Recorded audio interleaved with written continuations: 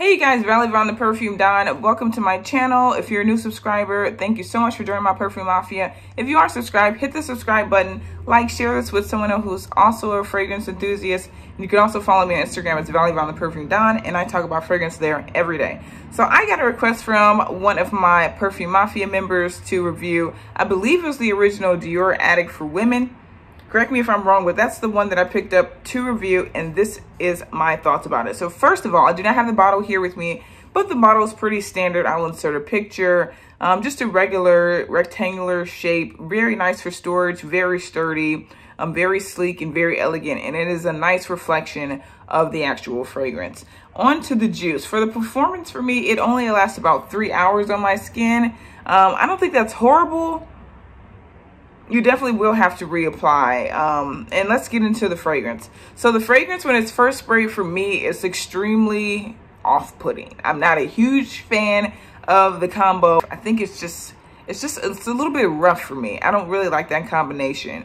Um, and I think it also, the combination with that citrus up front, anything where it's like fruity up front, something, it can turn a little bit weird. And that's what it does for me. But once the opening notes dry down, when it gets to the heart notes and the base notes, really save this fragrance.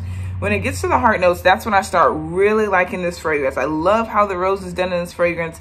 It is, it adds a soft feminine element, but not so girly and definitely not verging on the end of granny at all. It still maintains a youthful element and that's why I can understand why they added those citrus notes up front, even though I don't really like them in the beginning. Now, my favorite part of this fragrance, truthfully, are the base notes. And that's what you're going to smell majority of the time. It takes about 20 minutes, if that, for you to really get to the base notes. And that is the tonka bean, it is the vanilla, and it has the sandalwood in there. And that is a beautiful scent. It's great for right now, fall, winter, and that's what stays with you throughout the day. If it stays on you, a little bit better than it stays on me all in all, I think this is a nice scent. I think this is a little bit heavier scent, heavier of a scent. I think it's really great for nighttime wear. Um, it's It doesn't have a huge sillage. It doesn't have like a cloud around you unless you super overspray it. I can see that happening. But all in all, I think it's a pretty much sits close to the skin type of scent. So I think it's okay for office. Um, and I think it's all right for a date. I don't think this is a very flirty scent. Um, this is a very womanly scent, a very assertive scent.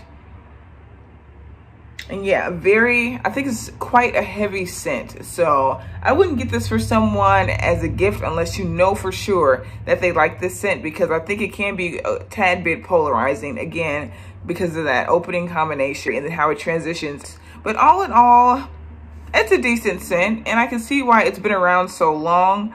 Um, I would like to give you guys a review of the Eau Fraîche version because I think that one I have a different idea and a different interpretation. But let me know, what do you think about this scent? And again, hit subscribe, like, share this with someone else who really likes fragrance. And I will catch you guys next time.